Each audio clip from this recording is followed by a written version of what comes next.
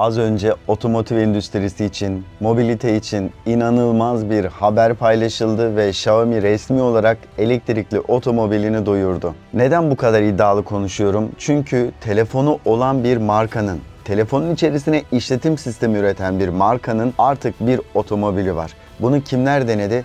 Apple deniyor şu anda. Apple henüz resmi olarak otomobilini duyurmadı. Tesla otomobili üretiyor ama acaba telefon üretsem mi dedi. Sonra hemen durdurdu. O da yapamadı.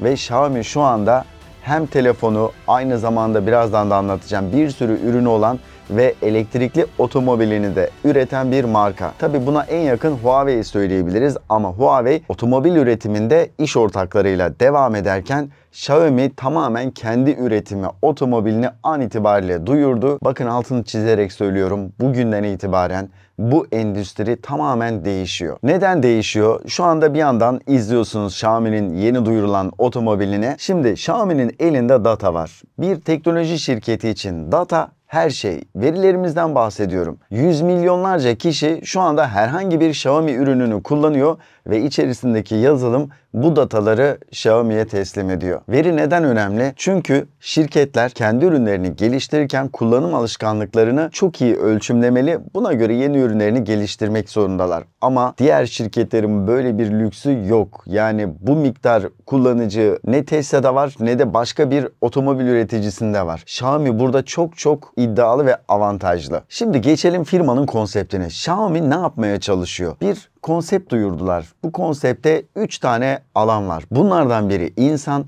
diğeri ev, diğeri de otomobil. Çünkü bu 3 yaşam alanını kapsayan bir konsepte bundan sonra ürünlerini geliştirmeye devam edecekler. İnsan kısmıyla ne anlatmak istediğini aslında akıllı telefonla daha önce gündeme getirmiştik. İnsan kısmını bir kenara bırakıyorum. Ev kısmına geçiyorum. Robot süpürgesi var. Air fryer var. Tablet var. Telefonu söylemiştik. Yani televizyonu var. Robot köpeği var. Şimdi insansı robotu da geliyor. İnanılmaz bir ekosistem var. Bakın 200'e yakın farklı kategoride ürünü şu anda pazarda olan bir markadan bahsediyorum. Şimdi üçüncü alan olarak otomobili de dahil etti arkadaşlar arkadaşlar. Tamam lafı daha fazla uzatmadan bu duyurmuş olduğu otomobilde hangi teknik özellikler var ve ne yapacak, diğer rakiplerini nasıl perişan edecek bunları cevaplamaya çalışalım. Otomobili üretirken aslında kullanıcıların çok dikkat ettiği bazı özellikler var. Bunlardan bir tanesi tasarım. İyi bir tasarıma sahip olsun istiyoruz. Bir diğeri pil. Çünkü tamamen elektrikli bir otomobilden bahsediyoruz. Ben bu otomobile bindiğim zaman ne kadar menzil gideceğim? Diyelim ki menzilim azaldı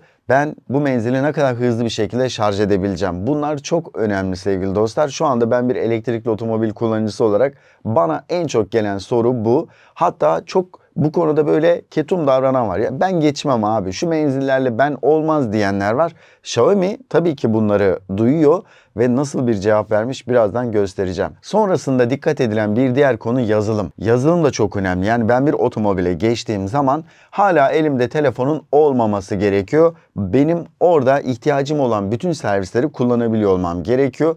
Bunun içerisinde iletişim, eğlence, iş, verimlilik, sağlık her şey var. Bir diğer kısım konfor. Şimdi işte Tesla'yı bahsederken ne diyoruz? Tamam çok iyi yazılım, pil yönetimi de çok başarılı ama konfor, TOG konforu daha iyi Tesla'dan diye yorumlarımız var. Bu bir gerçek bu arada. Model Y ile TOG'u kıyasladığınız zaman TOG'un konforu Tesla'dan çok daha iyi ama Tesla'nın da yazılımı oldukça başarılı. Şimdi konfor da yine Xiaomi'den beklentilerimiz arasında. Bir diğer konu sürdürülebilirlik ve üretim. Asıl burası acayip önemli çünkü bu üretim teknolojileri fiyata da etki ediyor işte bekleme sürelerine etki ediyor. Bu konuda da acayip bilgiler edindik sevgili dostlar. Şimdi bir otomobilden beklentilerimiz bunlardı. Xiaomi bu beklentilere nasıl cevap vermiş? Şimdi başlıyoruz. Öncelikle tasarımdan başlayalım. Şimdi adamlar, adamlardan kastım Xiaomi'den arkadaşlar. Şöyle samimi bir video yapayım dedim sizlere hemen lansmandan sonra. Bu videomu beğenirseniz çok sevinirim. Xiaomi tarafı çok akıllı hareket ediyor bu konuda. BMW iX'i biliyorsunuz bir iX kullanıcısı olarak şu anda karşınızdayım. iX'i ilk gördüğümde hayran kaldım dış tasarımına. Beni benden almıştı ve iX'in dış tasarımını yapan tasarımcıyı transfer ettiler. Sadece o değil, Mercedes'ten de bazı önemli kişileri transfer ettiler ve bununla beraber yine BMW'nin iç tasarımını organize eden çok önemli yetenekler an itibariyle şu anda Xiaomi'nin Su 7 modelinin bir parçası sevgili dostlar. Tasarımın dışına baktığınız zaman bazı otomobil markalarını andırıyor. İşte ofiste konuştuk. Abi burası Porsche'ye benzemiyor mu? Yandan bakınca Maserati değil mi? İşte şurası şu modele benziyor. Ya otomobil markaları birbirlerine benziyor arkadaşlar. Yapacak bir şey yok. Çünkü hedefte sürtünme katsayısının minimuma indirgenmesi de var. Sürtünme katsayısı konusunda inanılmaz bir değere ulaşmışlar ve bunu otomobili çok çirkinleştirmeden yapmışlar. 0.19 CD. Şimdi bu değer Mercedes EQS'e yakın, EQS'ten daha iyi hatta ve biliyorsunuz EQS'in tasarımını eleştirmiştik. S-Class böyle mi olmalı demiştik. Şimdi burada Xiaomi Su7 ne yapıyor? Hem tasarım oldukça güzel yapmış hem de sürtünme katsayısı oldukça iyi. Bu ne anlama geliyor? Çok daha uzun menzil, çok daha sessiz bir sürüş anlamına geliyor. Aydınlatma üniteleri, sonrasında spoiler olsun, işte jantlar olsun gerçekten çok iyi görünüyor. Farklı farklı renkleri de var.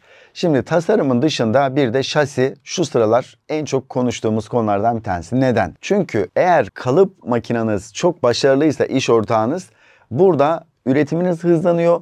Tek parçada üretilen şasi aynı zamanda çok daha uzun yollara dayanabiliyor ve ses çıkartmayan bir mekanizmaya sahip. Şimdi burada Xiaomi çok büyük kalıp makinalarına sahip ve buradaki yani kalıp makinesi belki bunu tam ifade etmiyor olabilir ama bambaşka bir teknoloji var. Üretim teknolojisi var. Şimdi burada tek parçada üretilen şasi inanılmaz bir üretim hızı anlamına geldiği için çok hızlı teslimatlar başlayabilir arkadaşlar. Yani şu anda resmi olarak duyuruldu.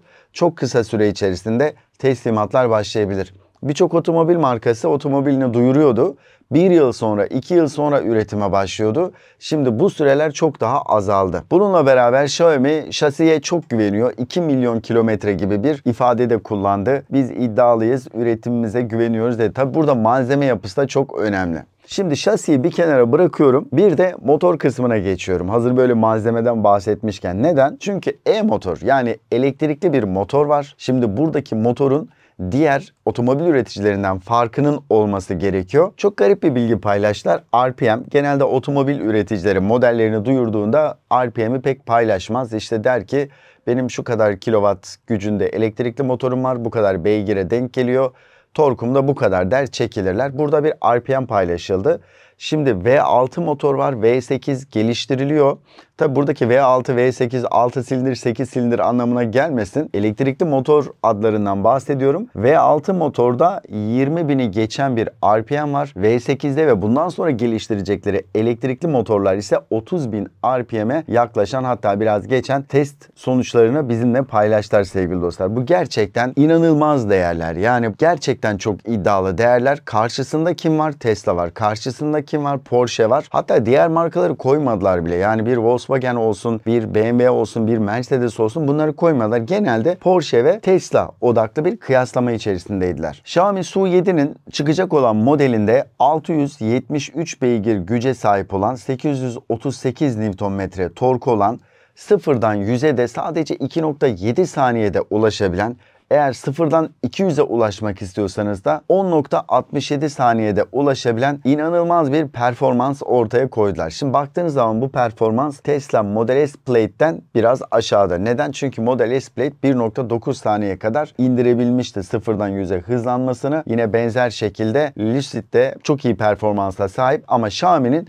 Su 7'sinde de böyle müthiş bir değer var arkadaşlar. Şimdi 2.7 saniye böyle 1.9'dan bayağı yüksekmiş gibi gelebilir ama yani günlük hayatta bunu anlatmak gerçekten çok zor. Yani bunun yaşanması lazım. Çünkü mesela şu anda ben bir Mercedes'in 30 milyon TL'ye satılan S63 AMG modelini kullanıyorum. Yaklaşık 4 saniyeye yakın bir 3,5 saniye civarında bir 0-100 hızlanması var. Bunu arkadaşlarıma hissettirdiğim zaman içeride deliriyorlar. O nedenle 2.7 saniye gerçekten çok müthiş. Şimdi enteresan bir değer daha paylaştı. Xiaomi Su 7'nin diyelim ki 100 kilometreyle gidiyorsun. Frene kökledin Durması ne kadar? Cevabı da veriyorum 33 metre. Yani 33 metre gibi mesafede duruyor. Bunu neden söylüyorum? Çünkü bataryası çok yoğun bir otomobilden bahsediyoruz. Ağır bir otomobilden bahsediyoruz yani. O nedenle bunları da artık paylaşmakta fayda var. Bir de işin maksimum hız kısmı var. Çünkü elektrikli otomobiller üretiliyor çok iyi. Ondan sonra diyorlar ki 0 yüzü acayip hızlı tamam. Bazı yollar var. Mesela Almanya'da var hız sınırının olmadığı. Hani oralarda kaça kadar çıkabiliriz diye merak edenler için söyleyelim. Otomobilin hızı saatte 265 kilometre ile sınırlandırılmış durumda. Bence bu çok yüksek çünkü birçok otomobil 180 ile işte 210 ile maksimum 220 ile sınırlıyor. Xiaomi burada performans merakları için 265 kilometre saate kadar bunu çıkartmış durumda. Geçiyorum batarya kısmına. Bataryada Kettle diye bir marka var. C-A-T-L artık nasıl okuyacaksak. Şimdi bu marka Xiaomi'nin iş ortağı arkadaşlar. Yurt dışında tabir edilirken C-A-T-L diye söylüyorlar. Neyse çok takılmayalım bu isimlere. Önemli olan ne? Önemli olan menzil değil mi? Benim gördüğüm ekranda 1000 kilometre bir batarya seçeneğiyle diğer geliştirilmiş bataryayla da 1200 kilometre menzile erişmiş durumdalar. 1200 kilometre çok çılgın. Gerçekten çok çılgın ve tabi 800 volt mimarisiyle hatta ekranda 871 voltu gördük. Şimdi bu mimariyle beraber çok kısa sürede şarj olan bir bataryadan bahsediyoruz sevgili dostlar. Bu arada batarya ile alakalı acayip bilgiler verdiler. Yani düşük bir sıcaklıkta batarya nasıl sonuç veriyor? Rakipleriyle kıyasladılar. Rakiplerinden iki kat bir performans gördük. Bu da düşük sıcaklıklarda mesela ben bu videoyu bir kış ayında çekiyorum. Acaba bataryam nasıl bir sonuç verecek diye merak edenler için acayip bir değerdi. Burada işin içerisine ne giriyor? Bataryada kullanılan malzemeler giriyor. Batarya yönetim yazılımı giriyor. Çünkü batarya ısısının kontrol altında tutulması lazım. O nedenle bu yazılım otomobilin her yerine hakim. Şimdi bataryada da bu durum var ve hızlı şarj olan 1000 kilometreyi geçen bir menzil olan çok kısa sürede ihtiyacınız olan menzili size teslim eden aynı zamanda güvenli, çok iyi paketlenmiş ve bataryanın ömrü dolduğunda, hataları olduğunda çok hızlı müdahale edilebilecek, değiştirilebilecek parçalara sahip bir yapıdan bahsediyoruz arkadaşlar. Şimdi hazır böyle batarya yöneten yazılımdan bahsetmişken Xiaomi'nin bana soracak olursanız ne batarya, ne tasarım, ne sürtünme katsayısı, ne motoru vesaire bana soracak olursanız en önemli konu nedir? Yazılım. Niye? Ya tamam hani 265 falan dedik de 4. Levent'teyiz. Yani burada ben akşam saat 6'da yani bırak 265'i 20 kilometreye gidersem öpüp başıma koyayım. Yani böyle bir durum var. Şimdi burada yazılım çok önemli. Her yerde böyle çok süratle gidemeyiz ama her yerde bir şekilde gidiyoruz. Giderken bizim hayatımızı devam ettirebilmemiz için bu ekosistemdeki yazılım çok önemli. HyPros biliyorsunuz neydi? Xiaomi'nin işletim sistemi. Logoyu da değiştirdiler. Telefonda var. Saatte var. Yani televizyonda var. Her şeyde var. Akıllı cihazlarında var. Şimdi artık nerede var? Otomobilin içerisinde de HyPros var. Bu aslında bir Xiaomi telefonla otomobilin o akıllı kabini arasında müthiş bir iletişim anlamına geliyor. Diyelim ki bir harita var. Haritada bir yere gideceksiniz. Bunu otomobile gönderebiliyorsunuz. Veya bir video izliyorsunuz. Bunu otomobile gönderebiliyorsunuz. Hatta bırakın bir şey göndermeyi. Telefonun ekranını otomobilin o 16 inçlik ekranına yansıtabiliyorsunuz. Telefonunuzu orada kullanabiliyorsunuz. Ekranları değiştirebiliyorsunuz. Ekran acayip güçlü. Parlaklığı, Sonrasında tazeleme oranı gerçekten müthiş. Çünkü birçok animasyonu destekliyor. Mesela dışarıda yağmur yağıyorsa eğer ekranınızın ana sayfasında da otomobilinizin etrafında da yağmur yağıyor. Yani diyeceksin ki abi bunlara mı takıldın? Ya bu vizyon çok önemli. Yani bu vizyon çalışır. Şimdi Xiaomi'nin Hyper OS'u işte bu alanda gerçekten çok kıymetli. Ama HyperOS işletim sistemini bir kenara bırakıyorum. Neden? Yazılım demişken bu sefer otonom sürüşe geçiyorum. Arkadaşlar otonom sürüşte inanılmaz bir performans ortaya ortaya çıkmış durumda. Neden? Şimdi kameralar görüntü algılama teknolojisiyle beraber gayet iyi iş çıkartıyor. Bunu kim yapıyor? Hatta bu zamana kadar en iyi kim yaptı? Tesla yaptı. Peki Xiaomi ne yapacak? Xiaomi Tesla'da olmayan bir sensörü daha eklemiş durumda. Hangi sensör? LiDAR sensör. Şimdi LiDAR sensörle beraber yazılım, kameralar, o sensörler entegre çalışıyor ve tabii ki Nvidia'nın da burada çok büyük bir performans katkısı var ve ortaya çıkan sonucu söylüyorum. Tam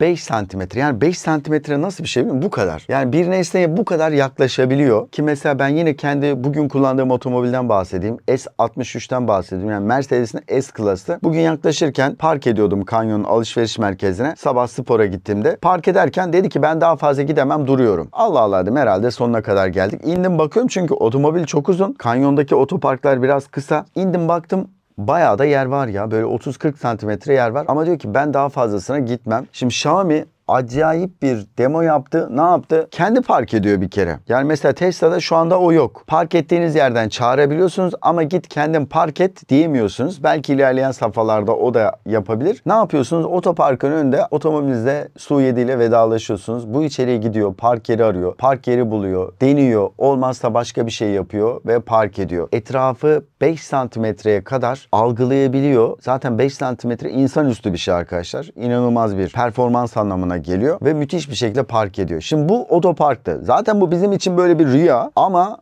daha ne olabilir derken daha da fazlasını gösterdiler. Şimdi mekanik park diye bir şey var. Hani böyle e, park ederken hani yükseliyor başka bir yere geçiyor falan. Oraya da park edebiliyor arkadaşlar. Türkiye'de ben çok görmedim öyle mekanik park alanlarını ama artık bize de gelir diye tahmin ediyorum. Neyse bu otonom sürüşte aşmış durumdalar. Yani yoldaki nesneleri algılıyor. Çünkü yapay zeka biliyorsunuz Hypermind diye bir ekosistem içerisinde yapay zeka geliştirmesi var Xiaomi'nin. Otomobilde bundan faydalanıyor. Telefondaki, kol saatindeki yapay zeka ile beraber o verileri işleyip anlamlandırıp bir karar verme süreci tamamen otomobile de yansıtılmış durumda. İnanılmazdı arkadaşlar. Gerçekten hayret ettim. Otonom sürüş konusunda ben daha iyi bir model görmedim. Huawei yine benzer bir şey paylaştı. Zeekr yine benzer bir şey paylaştı. Çinliler şu anda Amerikalılardan hatta Avrupalılardan bir tık daha önde. Bu arada söylemeden geçemeyeceğim. Bu otomobilin kabininde Snapdragon'ın 8925 chipsetini kullanıyor. Bu da yine otomobile güç veren, aynı zamanda bilgi, iletişim ve eğlence konusunda da bize güç veren bir teknoloji. Bu arada Xiaomi Su 7 içeride akıllı kabin ekosisteminde Qualcomm'un Snapdragon 8295 Cockpit platformunu kullanıyor. Bu ne anlama geliyor? İşte bağlantı, eğlence, iletişim konusunda çok performanslı bir işlemci platformunu kullanıyor. Belki yakında kendi işlemcisini de duyurabilir. Enteresan bir şey daha paylaştılar. CarPlay. Yani her ne kadar HyPros öne çıksa da eğer bir iPhone kullanıcısıysan, sen de bu otomobili aldıysan CarPlay'i kullanabiliyorsun. Şimdi o 16 inçlik ekranın tamamında CarPlay'i gördüm. Yani bu devasa bir ekran anlamına geliyor. Tabi CarPlay de sürüm güncelliyor. Yani bir yıl sonraki CarPlay bambaşka bir şey. Acaba onunla nasıl çalışacak tam bilmiyorum. Çünkü CarPlay artık otomobilin içerisinden birçok veriyi alacak. Mesela Porsche bir video paylaştı. Bu videoda bu görsellerde neyi gördük? Yandaki ekranlar otomobilin işte lastik basıncından tutun da birçok verisine kadar CarPlay ekranında görebiliyoruz. Bu aslında yazılım biraz Apple'a emanet etmek anlamına geliyor. Ben Xiaomi'nin böyle bir şey yapacağını pek tahmin etmiyorum ama günün sonunda CarPlay ile uyumlu olduğunu söylediler. Android Auto geçmedi. Niye? Çünkü zaten Android yerine HyPros kullandıkları için belki de hiç gerek kalmadı söylemeye. Herhangi bir Android kullanıcısı da bu HyPros'la haberleşebilecek diye tahmin ediyoruz. Avrupa macerası ve tabii ki Türkiye macerası ne olacak bilmiyoruz. Ama şunu size söyleyebilirim. Yetkililerden aldığım bilgi Xiaomi'nin Su 7 modeli Türkiye'de satılacak hem de kısa sürede satılacak. Bunun için iletişim başlatılmış. Gerekli izinler, lisanslar alınmaya çalışılıyor. Belki de alınmak için ilk adımlar atıldı.